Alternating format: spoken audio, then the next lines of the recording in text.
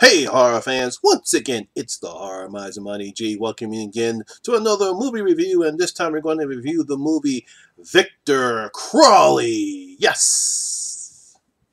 Now, before we begin the movie review, I want to uh, mention that the fact I was part of a podcast on Morbidly Beautiful's website uh, internet show called uh, The Calling Hours. It is run by a guy named Michael Deadman. It was hosted by Michael Deadman Jones. Uh, I was part of a horror. I was part of the podcast along with my good friend Vicky from Mike Nightmare Maven. Uh, basically, the podcast consists about us talking about the uh, recent changes YouTube is doing uh, with its uh, how do you monetize on, on your channels, and uh, that was a pretty good podcast. We had a, I had a very great time, and I want to thank him again for inviting me to do the podcast. So I'm going to leave a link in the description box below so that way you, my horror fans, can actually listen to the podcast. Uh, now, on to the review. Now, Victor Crowley is a 2017 uh, American slasher film. It was written and directed by Adam Green. Yes, this is the fourth entry of the Hatchet series, and he's done all the films. And it also, once again, stars Kane Hodder, uh, Kane Hodder as Victor Crowley, as once again, Victor Crowley returns to his swamp and does what he does best.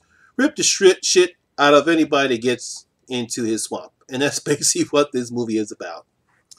Now, as far as the Hatchet series is concerned, I, I somewhat enjoyed them. Uh, the first one, I believe it came out in 2006 or 2009. Somebody correct me if I'm wrong about the year. And uh, at the time, uh, Adam Green felt as though that we were not having another great horror icon uh, he missed the good old slasher days, so he went on ahead and created and made the first Hatchet film, which is basically a throwback to the good old slasher uh, horror movies. And he, I guess, he wanted to create another horror icon, hence Victor Crowley.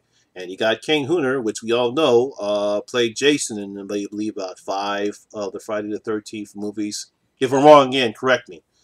Uh, and he wanted to create a new uh, horror icon. Now, I like the first, uh, Vic, uh, like the first Hatchet. I thought it was very good. Had uh, very good on-screen kills, lots of gore, uh, lots of nudity that you see in a um, slasher film. Lots of people making some dumb decisions, and Victor Crowley was a very intimidating uh, villain in the film. But uh, the other two Hatchet films seemed to rehash what he did in the first one, and it seemed like the quality kind of died down a bit uh, as the series progressed. And it took a while before they decided to create this uh, fourth movie. So let's get on the it and let's talk about Victor Crowley. Now, if you remember in the fourth one, Parry Shen once again plays uh, Andrew Young. He does not play the two twin brothers that were killed in the first and second picture. He was in the third one, but he played uh, uh, paramedic. Oh boy, an ETM uh, named Andrew Young, and he did survive in the four in the third film, and he's back once again, and he seems to be hitting on the lecture circuit, uh, talking about the ten years that have passed since his encounter with Victor Crowley, and uh, he eventually uh, gets talked into by his um, by his um, uh, publicist to go to back into the swamp uh, back into the swamp. And unfortunately, it isn't before long before he before he is resurrected, and he starts doing what he does best. I mentioned before, rip people to shreds. And that's basically what this movie is about. Now, as I stated before, the one thing I liked about this series is because of the on-screen kills. Victor Crowley looks menacing as usual. Uh, we get some great on-screen kills. We get some nice, decent gore in the film, and a lot of people get killed.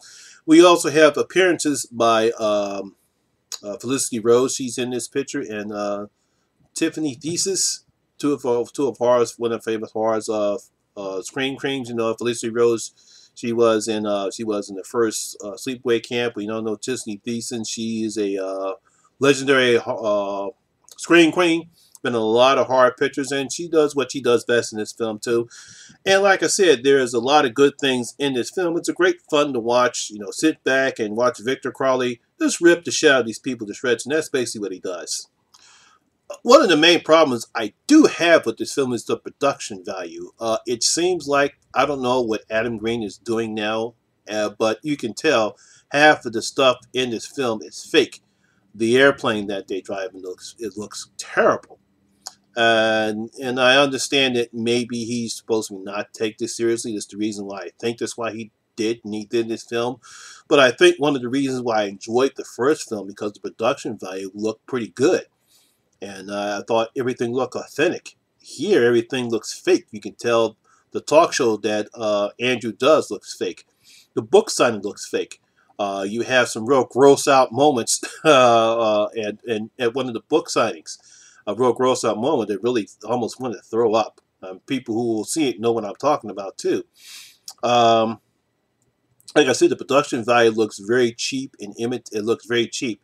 Uh, doesn't take away from the fun of the film, but I'm just saying it's like you would have thought he would have had uh at this point in time. This is the fourth film. You would think he would have better production uh, uh in the film. But like I said, that's really a bad disappointment. But it doesn't take away from the film. I just wish he would have did a better job in his production value and making the film look a little authentic, not fake. Because everything looks fake. It looks cheap. It looks like, hey, look, we'll just throw this up there and make it believe like it's an actual book signing, or make it believe uh, that this woman, uh, supposed I think it's supposed to be Parry's ex-wife, be a talk show host. And even though we know that everything looks fake and dull. But like I said, overall, I had a pretty good time enjoying this film, and I believe most of you people enjoyed the film as much as I did. So, as I opened up my vault, I'm going to give Victor Crowley, bam, two and a half of my five gold coins. Victor Crowley will get two and a half out of my five gold coins. Yes, that's what Victor Crowley is going to get two and a half out of my five gold coins. Now, uh, I don't think this film is getting any type of theatrical release. Uh, I saw this on Amazon, and I probably rented for like a good five, six dollars. I believe you can find it on Amazon. I believe there's going to be a Blu-ray. Uh, it's going to be coming out. I just don't know when it's going to come out. I really didn't see anything else other than it's available on Amazon. Um, so if you want to be able to go see it, you can go to Amazon, and I believe you can find it and rent it.